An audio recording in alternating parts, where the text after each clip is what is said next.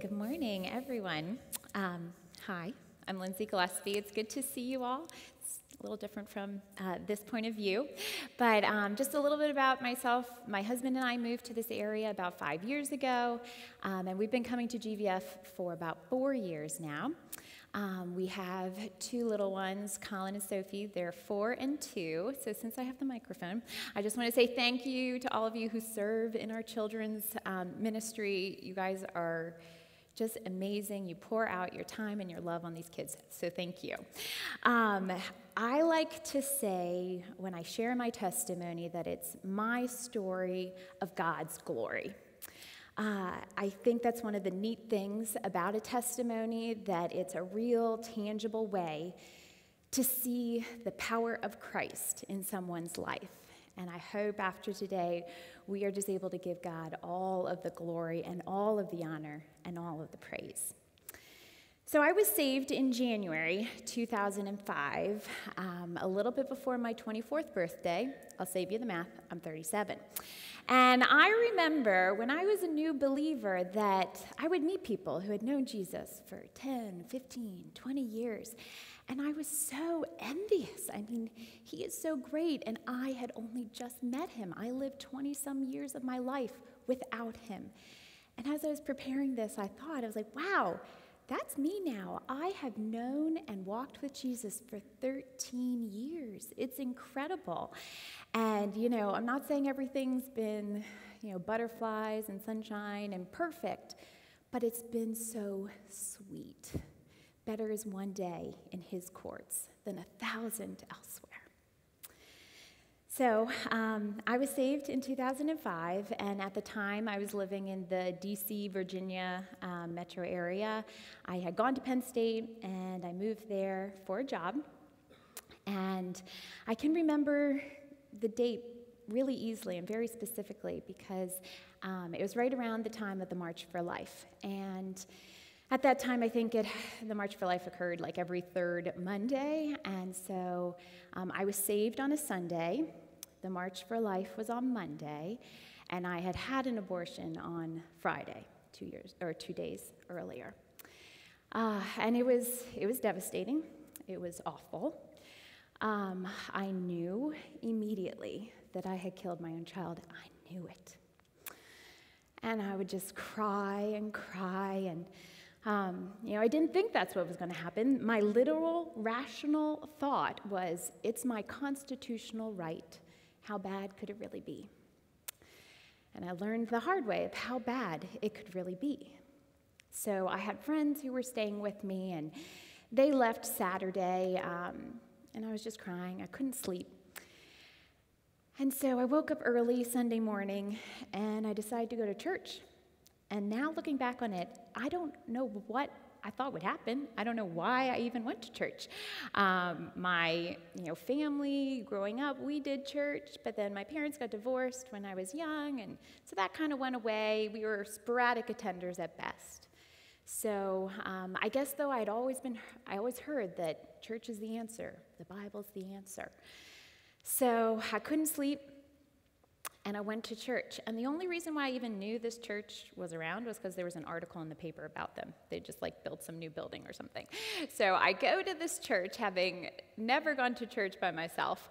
Um, and I sit there, and the pastor comes out and prays for the offering and for the message. And then he prays for the March for Life. You know, we're in DC, it's basically a, a local event for us there. So he prays for the March for Life. He prays for this country. He prays um, that you know, we would realize abortion is wrong, that it's a killing. And I agreed with him 100%. I knew it. But then, then he prayed for everyone who had had an abortion. And he prayed that they could find hope and healing in Jesus that God knew what you had done and He knew how much it hurt, and that He loves you and He forgives you. And I was shocked. I mean, it, it never even crossed my mind that I could be forgiven. I seriously was just trying to figure out how to live with myself, how to live with what I had done. The idea that I could have been forgiven and forgiven by God of all people, I mean, it was incredible. And, and so that was it. I was like, okay, I'm in. I, my salvation prayer was, I think, like, if what they're saying is true, I, I'm, I'm in. You have me. You know, it was probably the worst salvation prayer ever. But, you know, the words don't matter because God looks at the heart. He knows your heart. And I know, I know that at that moment I had passed from death into life. I know it. I can't explain it, but I know it. And that I was a new creation. I had been forgiven. And I went home. I remember trying to read the Bible like a week earlier. You know, again, people said Bible was the answer, so I started reading Matthew. It could have been written in a different language. It meant nothing to me. I did not get it. I go home after that day and start reading the Bible. It was like the clearest thing I had ever read. It was just incredible. So, yes, I knew I was forgiven, without a doubt, but I still felt guilty. The guilt and the shame, and the best way to describe it is it's crushing. And um, I mean, really, my routine was pretty much I woke up in the morning, I cried on my way to work, I pulled myself together for work, got back in the car, cried all the way home, and um, cried myself to sleep, and repeated that for probably months. Thankfully, um, when I, or the church I was going to, had a counseling center uh, connected with it. So I got in touch with a Christian counselor, and she was incredible. Um, she, or God used her to walk me through 2 Corinthians 7:10, which talks about the difference between godly guilt and worldly guilt, and that worldly guilt wants to kill and destroy, keep you in that bondage. But godly guilt, godly guilt leads to repentance. God wants you to have freedom to be alive. That is why Jesus died for you. And so she walked me through that. And for me, what that meant was I had repented of the abortion, but I had not repented completely, turning 180 degrees in the other direction of the whole sinful lifestyle that got me to that point. And I can say honestly now, I do not have the shame and the guilt associated with this anymore. God has freed me from that. I live with the fact that I killed my own child. That doesn't change. I've been forgiven, but that is still there. But God can redeem anything, right? I, I love that verse from Joel 2 talks about how God says, I will restore to you the years the locusts have eaten. Yes, Christ redeems your present. He does do that, and He redeems your future, but He also redeems your past. So, a couple years later, um, God leads me to law school, and um, I thought, oh, this is what God wants me to do. He's going to use me to overturn Roe v. Wade. Um, I don't think that anymore, but, but what it did was it gave me this perspective that I didn't have before, like another lens to see this issue through, because Roe v. Wade legally is a terrible decision. They literally created a right out of nowhere. And here's a quote from one of the law clerks who worked for the justice who wrote the opinion. He said, Roe v. Wade may be one of the most intellectually suspect constitutional decisions of the modern era. Even my law professors who were pleased with the outcome admitted that it's a horrible decision legally. So, unlike most constitutional law, which I'm not going to belabor this point, can't really be overturned. Um, that's not the case with Roe. Roe is actually a terrible legal decision, and it could be overturned. And if, if the decision is overturned, that does not make abortion illegal. All it does is it takes it out of the Constitution and gives it back to the states. The states get to decide, you know, maybe some states will make it illegal, some will give it for free. I mean, it, but the biggest point from my perspective is that then we could have a real conversation about it. Because right now, the two sides, they're talking past each other. One says it's a right, one says it's a life. Like you're not even talking on the same plane. So, if we can get it out of the Constitution, then we can actually start having a real conversation about it. Because for me, from my perspective, I think the part of the conversation, the piece that gets left out completely, is what we are doing to our women. We are destroying our women.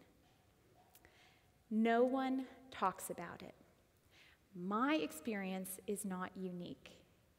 You know, what I experienced is not unique, but no one talks about it. I would share with my college friends after I had my abortion, and all of a sudden, people were, oh, I had one, my friend had one, my mom had one. I was shocked. I couldn't believe it. Nobody talks about it. The best statistics I could find was that one in seven women have had an abortion. It's more likely the real number is one in four women one in four women. Which means if you think you don't know someone, you probably do. Just think about your friends, your mom, your sister, your daughter. Somebody you know has had one. And what it also means is that one in four women are walking around with the guilt and the shame and they're dealing with it as best they can. I mean, but for the grace of God, I, I really don't know where I would be. The only way I knew how to deal with things was either convince myself it didn't happen, and I was a really good liar, and I lied to myself the most. Um, I would either convince myself it didn't happen, or I convinced myself it didn't hurt. And if you can relate to trying to deal with stuff that way, you know that is not a recipe for success. The only healing, uh, forgiveness that we can be offered is through Jesus Christ. And it also means that one in four women, mean that millions of women are walking around desperate to be forgiven. So during this same time, I was reading, um, and you know, everything was kind of happening at once. I don't really know which was coming first. Um, God was just really pursuing me. So uh, I was reading Corrie ten Boom's book, The Hiding Place, and if you're not familiar with her story, it's really fantastic. I highly recommend it. Um, it's a true story, and it's about her family. They were living in Holland during World War II and um, during the Nazi occupation, and they helped um, hide Jewish people from the Nazis so they could, they could escape. Um, so it really is, it's an incredible story. I actually was just reading it because uh, my dad had given it to me. I just was interested in World War II and like true stories. I had no idea that they were believers or that it was about God or Christ or anything. Um, but it really, it's an incredible, incredible story. And, um, and so I'm just going to share a little piece that really spoke to me about forgiveness. It's an amazing story of forgiveness. So um, she, or Corrie, and her family, they were helping the Jews um, escape, and they were really betrayed by somebody they were trying to help. So they get arrested and sent to a concentration camp. Her whole family dies um, in the concentration camps, and at the um, at the end of the story, which is the part that I'm going to share, Corrie. um, really feels just a heart to be in ministry, share her story, and share the hope and love of Jesus Christ. So she travels all over, but she says this that the place that hungered for her story the most was Germany. I mean, can you imagine? After everything she went through, she goes back to Germany. So she goes to Germany and she's speaking at a church service. She sees one of the Nazi jailers from the concentration camp that she was in, and here's what she says he came up to me as the church was emptying, beaming, and bowing. How grateful I am for your message, Fräulein, to think that as you say, he has washed my sins away. His hand was thrust out to shake mine, and I, who had preached so often to the people the need to forgive, kept my hand at my side. Even as the angry, vengeful thoughts boiled through me, I saw the sin of them. Jesus Christ had died for this man. Was I going to ask for more? Lord Jesus, I prayed, forgive me and help me forgive him. I struggled to raise my hand. I could not. I felt nothing. So again, I breathed a silent prayer Jesus, I cannot forgive him. Give me your forgiveness. And as I took his hand, the most incredible thing happened. From my shoulder, along my arm, and through my hand, a current seemed to pass from me to him, while into my heart sprang a love for this stranger that almost overwhelmed me. And so I discovered that it is not on our own forgiveness any more than on our own goodness that the world's healing hinges, but on his. And I, I remember reading that just thinking, I want that. How do you get that?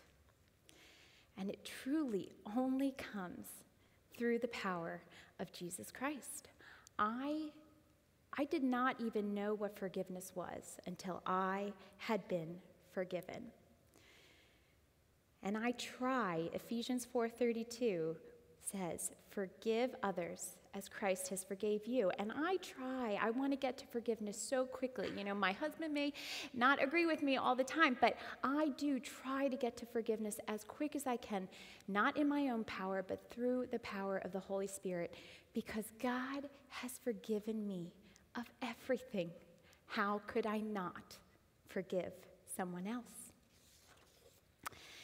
And so I'm just going to, you know, wrap this up. Um, you know, on that Sunday 13 years ago, I thought that prayer was just for me. I'm sure, you know, other people were blessed by it. But it felt like it was just for me.